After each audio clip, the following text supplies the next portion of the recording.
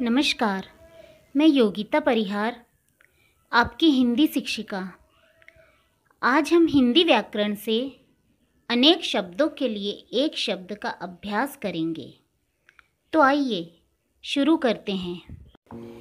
अनेक शब्दों के लिए एक शब्द, जैसे, राम कविता लिखता है। अनेक शब्दों के स्थान पर हम एक ही शब्द कवि का प्रयोग कर सकते हैं। वाक्यांश को संक्षेप रूप देने के लिए इसका प्रयोग किया जाता है। भाषा में कई शब्दों के स्थान पर एक ही शब्द बोलकर हम भाषा को प्रभावशाली और आकर्षक बनाते हैं। परिभाषा। ये वे शब्द होते हैं जो वाक्यांश का अर्थ देते हैं।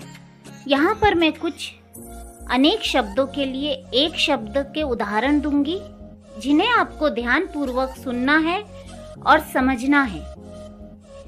जिसका जन्म ना हुआ हो, अजन्मा, जो कभी ना हो सके, असंभव, प्रतिदिन होने वाला, दैनिक, सौ वर्षों की अवधि, शताब्दी, गणित का ज्ञाता, गणितज्ञ, जानने की इच्छा रखने वाला जिज्ञासु, जो कभी न मरे।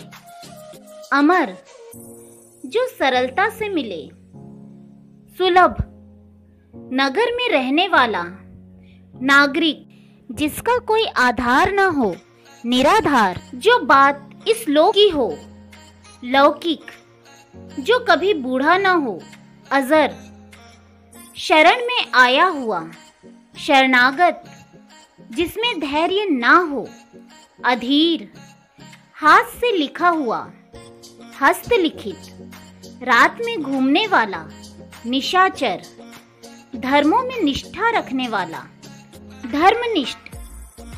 बुरे चरित्र वाला, दुष्चरित्र।